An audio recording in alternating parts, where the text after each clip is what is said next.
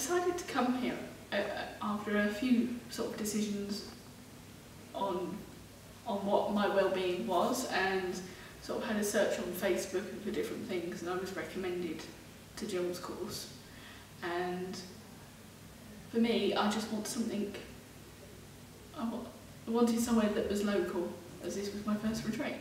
For me the biggest experience I've had is the community the women around me but also some quite strong personal transformations within my own health and eating differently has actually made me feel better about myself as a person. So I, I've, I've, um, I'm severely sight impaired and I've noticed not only an improvement in my eyesight but also in my diabetes and it's made me really think about what,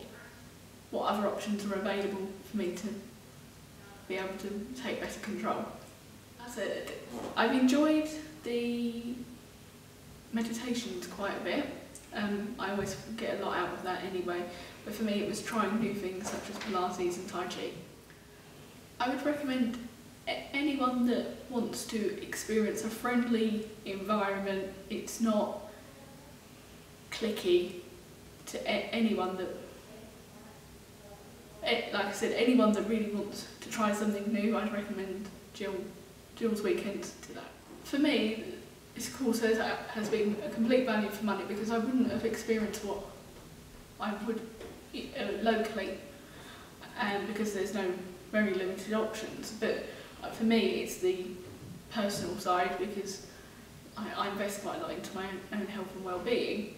but I, I've never experienced this level of transformation especially with my diabetes.